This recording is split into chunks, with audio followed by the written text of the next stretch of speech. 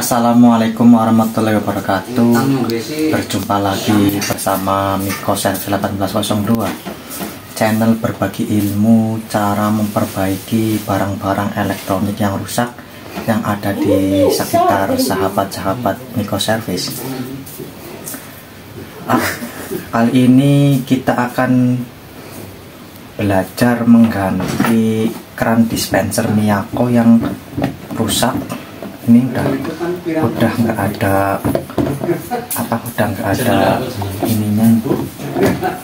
Yang yang warna merah nggak udah nggak ada buat apa ini namanya lah?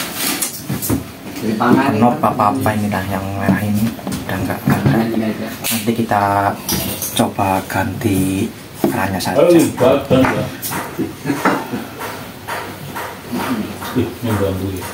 kayaknya ini harus ganti satu set kalau keran dispenser kayak gini. Nanti kita juga beli satu set aja antara yang merah sama yang biru nanti kita ganti dua-duanya. Ikuti terus video belajar kali ini. Belajar mengganti keran dispenser Miyako.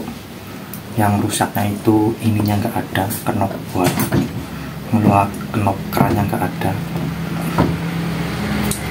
Oke langsung aja kita ke dispensernya kita bongkar. Dulu sini satu.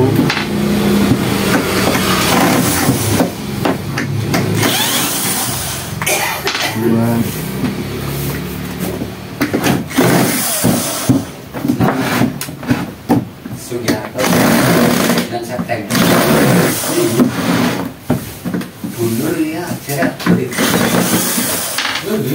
kalian ngomongnya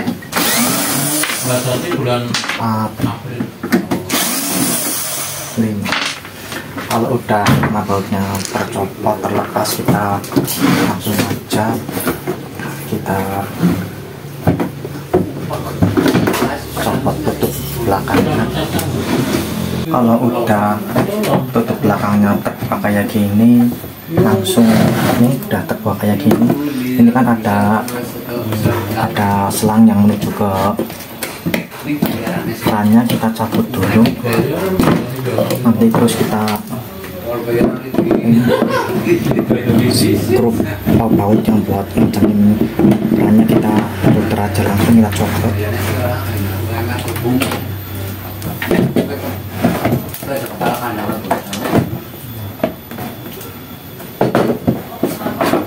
kita copot satu satu dulu nah, kayak gini kita beli juga yang beratnya kayak gini jangan salah beli. Takutnya nanti kita nggak bisa memasangnya lagi ke dispensernya. Yang satu juga kita copot yang rusak.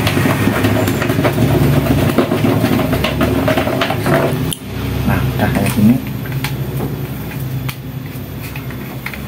Nanti kita beli dua-duanya aja langsung keran yang warna merah sama keran yang warna biru beli kerannya dulu.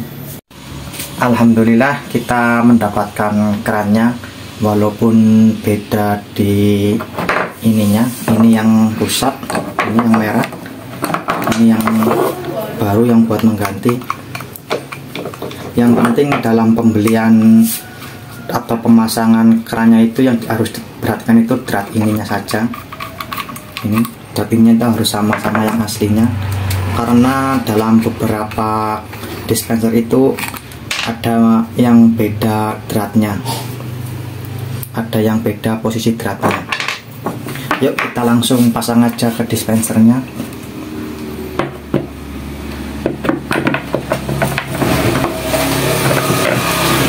Yang warna merah di sebelah sini. Jangan lupa ininya buat mengencangkan kerannya harus dipasang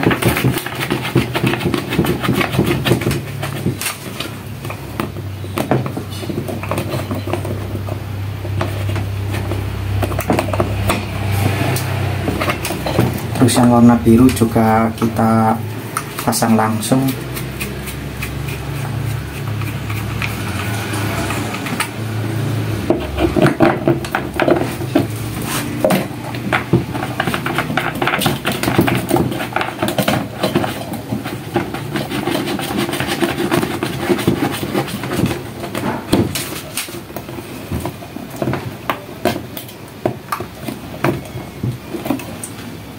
kalau udah kayak pasang langsung kita pasang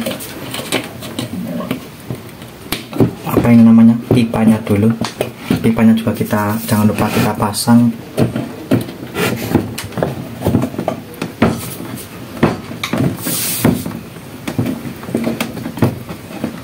Kapasitasnya kita kencangan dulu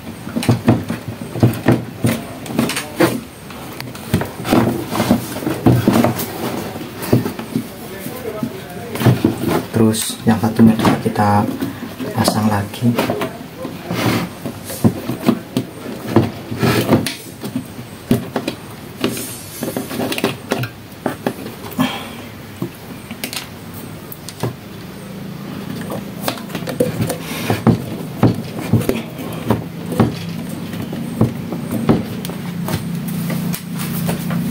Harus kita kasih kabel tis supaya lebih kencang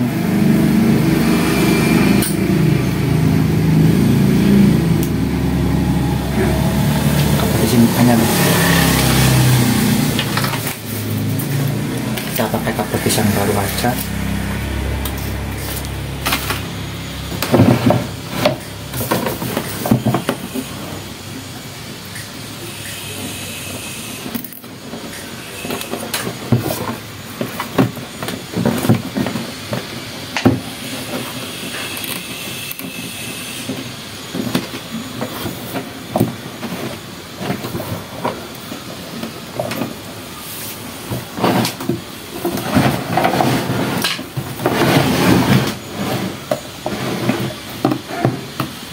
udah kayak gini doang.